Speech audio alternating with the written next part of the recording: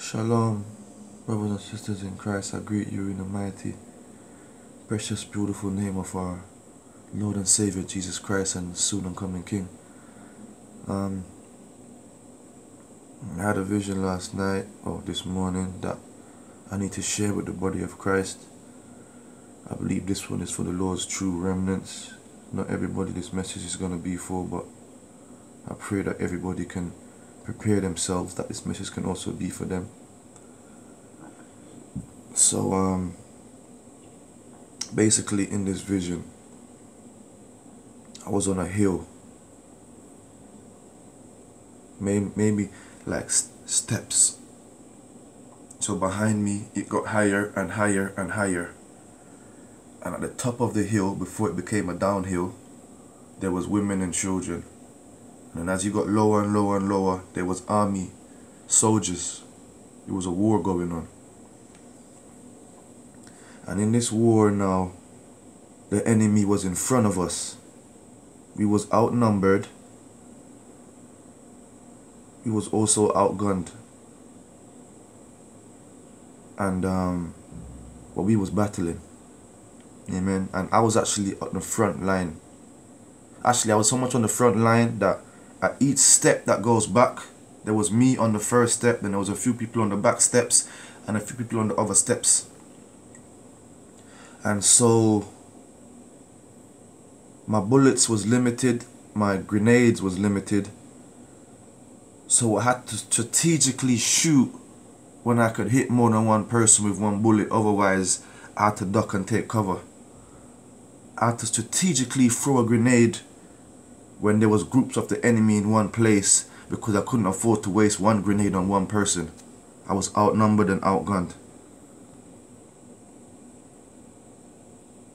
So I'm warring, I'm warring, I'm warring, I'm warring. But as I'm warring, I'm retreating because the enemy was advancing. So I have to war and retreat. I'm warring and retreating, I'm warring and retreating, I'm throwing grenades, I'm shooting my rifle, I'm throwing grenades, I'm shooting my rifle. Bullets got low, grenades got low, so I basically had to catch the grenades that they throw and throw it back. Those of you who have way of grenades and stuff, there's a certain amount of seconds before it actually explodes. So if you can get it in time and throw it back, then it will blow up on the other side. So I've been throwing back their own grenades at them. I've been, I'm warring, I'm warring, I'm retreating. Here's how the dream gets interesting, brothers and sisters. As I war and retreated, and I got back to the top of this hill now, because the enemy was advancing, so I couldn't stay in one position and war. I had to retreat and war, retreat, war, retreat, war. I got to the top, where the women and the children were. I looked behind me to see how the other soldiers was doing. All the men was gone. This whole time, I was fighting this whole battle by myself. This whole time. And so, I didn't lose the battle. The women and children were safe, but I woke up. And I was like, in my spirit, like, what kind of battle is this? Where I'm the only one on the battlefield. And this don't make no sense. I'm sure brothers and sisters are out there in Christ on the battlefield too. I know this is a spiritual dream. And this is the enemy and whatever. So God revealed to me that the women and the children are the babies in Christ. Bible calls some Christians babe. But the Bible says that we should feed them milk. Because they're not ready for meat because they're new to the faith. When their faith is stronger, we can give them meat. Either way, we need to give them spiritual food. Amen. Jesus told Peter, if you love me, feed my sheep.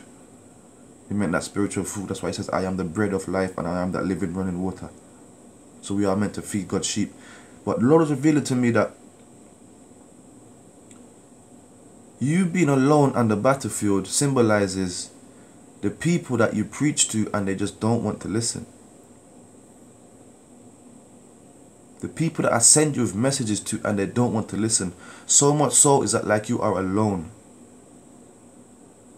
And he says, whether they listen to you or not, continue to bring my messages because the, the other soldier men that left, they're the one that didn't want to hear the message. Otherwise, they would have been in that position to be as strong as I was on the battlefield. But because they took the message in one ear and it went out the other ear, when it came down to the crunch time, we're in the middle of this war now. Let's see what you can do, my brother. They were left me on the battlefield all by myself. And the Lord said I must stand alone if I have to. Amen. Because they might not appreciate the message, but the women and children appreciate the fact that by myself I did not run away and leave them. Amen. And the Lord gave me two scripture because this ties into also false doctrines. Many people have false doctrines. This is why they're so weak in the faith. Amen. So the first scripture the Lord gave me is Jeremiah 51 45. My people, go out of the midst of her, and deliver ye every man his soul from the fierce anger of the Lord. Some of us go into circles where the grace of God isn't there. We go into circles where people have fellowship with the work of darkness, and because we know we're anointed, we think it's okay to just go there and congregate. That's our opinion. If you want to bring a message and share a message, fair enough, but you cannot be sitting in the midst of the table of the enemy. You cannot serve two masters. Amen. And even in Revelation chapter 18, chapter 18, verse 4, it says, And I heard another voice from heaven saying, Come out of her, my people, that ye be not partakers of her sins, and ye that ye not receive of her plagues. Jeremiah telling you that the anger of the Lord is going to kindle upon them. And, and, and, and, and, and, and Revelation is telling you that the Lord is going to put plagues onto them. So get away from them. Do not be in the midst of them. Otherwise, you're also going to be partakers of their plagues. And this is a symbol of the false doctrine, the false teaching. Amen. The lukewarm churches, the lukewarm believers. Jesus is coming back soon. So it's one thing to tell a brother, oh, Jesus says don't drink and don't smoke. If he wants to sit there and tell you, well, God still blesses me every day and I'm still alive and Jesus paid for my sins so I can do what I want. You gave him the message, leave because plagues are coming to him. You stay there with him at his table, you're going to get the plague too. The Lord said, come out of it, come out of it. In this particular scripture, he was talking about leaving Babylon because Babylon's going to get plagues. But many churches are also Babylons churches that don't believe in the Holy Spirit. Hallelujah. He just bring back my revelation now. I was in another church. I was in a church. The dream shifted. After that, thank you, Jesus. Scene, scene, scene changes. I'm now in a big church. And in this church was Hillsong. It was a building of theirs. And I remember once when I went to a Hillsong convention, and after they sang and sang and sang and sang, the past the leading pastor came on the stage and took the mic and the first thing he said was because I sat there and I'm like, why don't I feel the Holy Spirit? Why is all these people closing their eyes and searching, searching? No one ain't crying in the Holy Spirit. No, why? I'm, I feel so heavy right now. Why don't I feel the presence of God? And I was, the Lord was, I was saying to the Lord, like, what's going on? If you people are worshiping so many hundreds and thousands of us, why can I not feel your presence, Lord? And he told me, I'm not here. This is not worship song. This is noise. This is not glory to me. This is rock and roll music. And as the Lord said that to me, the man came and took the mic. You know what the man said? The man said, At least we are truly worshipping God and we don't make that noise, that gibberish, that talking in funny languages and funny tongues like some of those other Christians. The brother was blaspheming the Holy Spirit. The Bible says there's no forgiveness for that. He openly on stage called speaking in tongues gibberish. But yet still so many brothers and sisters in Christ run to congregate with Hillsong because oh they sing nice songs. The devil was the author of music in heaven. When David played the harp, it brought the presence of God. Do you not think there's other music that you can play that does not bring the presence of God but bring the presence of the enemy? And because you sing a song and feel good, you think that means that's the presence of God? When I used to go clubbing, love songs used to make me feel good. Celine Dion would sing a song and I would cry my eyes out. That wasn't the presence of God. When I was in the club listening to dancehall uh, music, certain songs made me feel so happy. But his music was about violence and sex and drugs. That wasn't the presence of God. So the body of Christ will ever have discernment in this in these last days. And it all ties in into the reason why I was on the battlefield by myself. Because they do not have the true gospel. This is why the Lord says, Many will say, Lord, Lord, and I'll tell them, Depart from me, I never knew you. You don't know the Lord. You're not sensitive to his presence or his voice. I'm not condemning Hillsong's followers because I'm saying if we pray for them, God can save them. But the Bible says, have no fellowship with the work of darkness, but rather reprove them, correct them, and take yourself away. Someone out there needs to hear this message because you're preaching to somebody and they're not listening and you keep them allowing them to condemn your soul. Somebody needs to hear this because they're in a church where they openly with their eyes can see things that contradict the word of God, but yet still they continue to go there every week and leave heavy.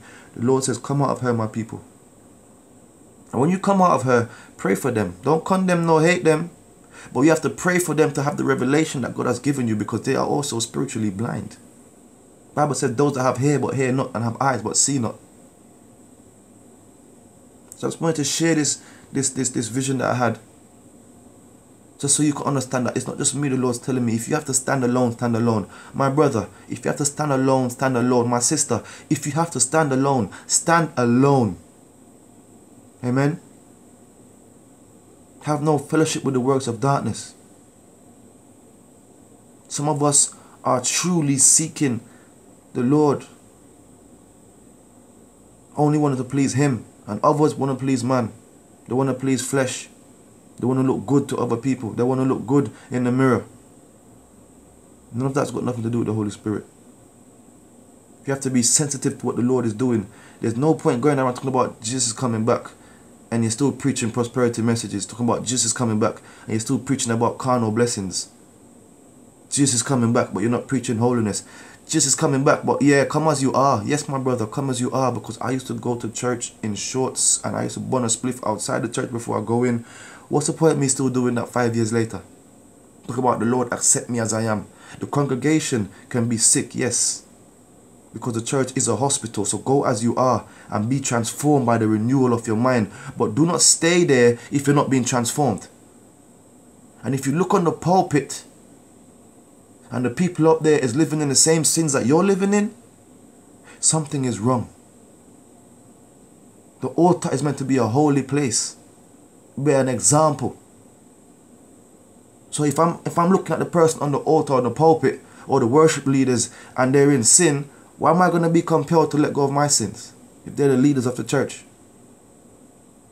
If I'm telling my brother in Christ, listen, the Lord wants you to go deeper in Him. He says it's time to stop drinking or stop smoking or whatever. It's been years you've been in the faith and they're still sitting there telling you this foolishness.